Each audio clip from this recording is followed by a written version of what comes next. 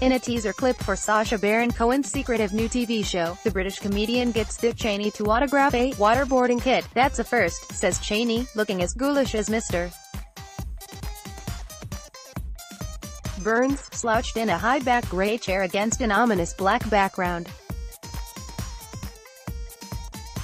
That's the first time I've ever signed a waterboard. You know Ali G, Bruno, and Borat, but this summer Sacha Baron Cohen returns in a new series as you've never, ever seen him before. Was America. Series premiere Sunday, July 15th at 10 p.m. Eastern Time, PT only on Showtime, at just 22 seconds, and even without any context, the footage is surreal. Here is the former U.S. Vice President simpering and scrawling his name on an instrument of torture. And there, off-camera, is the voice of Cohen's latest alter ego, a character Donald Trump fans may wish was shackled and unlawfully interrogated. Cohen tweeted out the mysterious clip on Sunday. This followed another cryptic post on July 4, one featuring Trump in high dudgeon. Article continued below. This third-rate character named Sacha Baron Cohen, says Trump, scowling into the camera as he sits in the office of his eponymous tower that was his bully pulpit before he started issuing insults from the White House. I'd only wish that he would have been punched in the face so many times right now he'd be in a hospital. It was disgraceful. He ought to be fired immediately. Sacha Baron Cohen, go to school, learn about being funny. You don't know, bleep, that was Trump preaching violence in 2012, reacting to Cohen storming the red carpet at the Academy Awards and, while in character as the dictator, spilling the ashes of Kim Jong-il over a startled Ryan Seacrest. And if Trump was so furious with Cohen over that stunt, one can only imagine what the US president might propose in the months ahead. This weekend, as Vulture reported, posters went up in New York City for Cohen's new Trump trolling project set to debut Sunday on Showtime, streaming on Crave TV in Canada, Who is America? Promises to ratchet up the disdain between Cohen and his longtime nemesis. The two first met in 2003, when Cohen tricked Trump into doing an interview for what the real estate mogul thought was an educational segment on the BBC. Instead, a bewildered Trump came jowl to bling with Cohen's Ali G, the hilariously clueless aspiring rapper who lampooned establishment figures on both sides of the Atlantic with his gangsta patois, sophomoric mix-ups and disarming stupidity. Ali G wanted Trump to invest in a new business idea, an ice cream glove.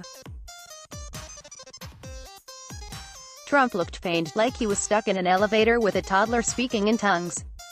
He bolted mid-interview and later told the New York Times, I thought he was seriously retarded. Article continued bellow over the next 15 years, he has called Cohen a moron, a bad guy, and a loser. In turn, Cohen has called Trump a racist, a knob, and suggested he has a brain like a female chicken.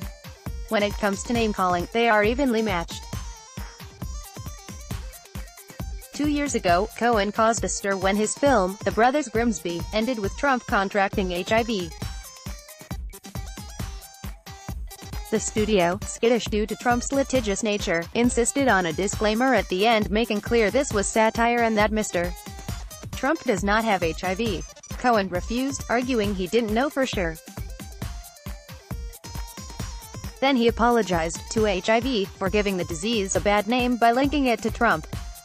So even without knowing what exactly this new show is about, Cohen's feelings toward Trump are as unambiguous as a posted speed limit.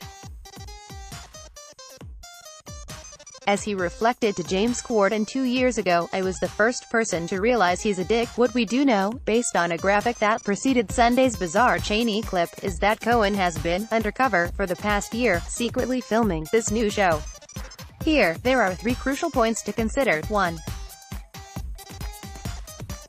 This unnamed character somehow managed to trick Cheney to be an unwitting participant in parody, as Ali G did with so many politicians in the early aughts. 2. Cohen has turned his satirical bazooka on American politics after Trump was elected.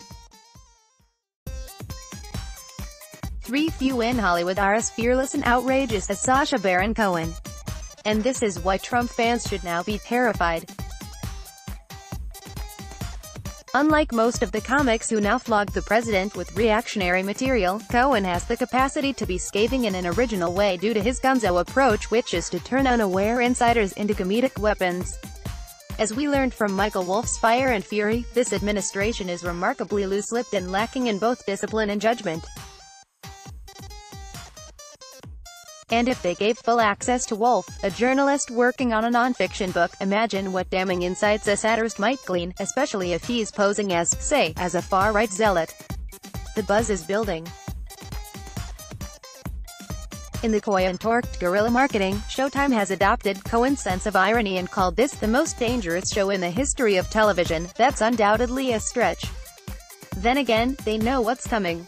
Vinay Menon is the Star's pop culture columnist based in Toronto. Follow him on Twitter, at Vinay Menon.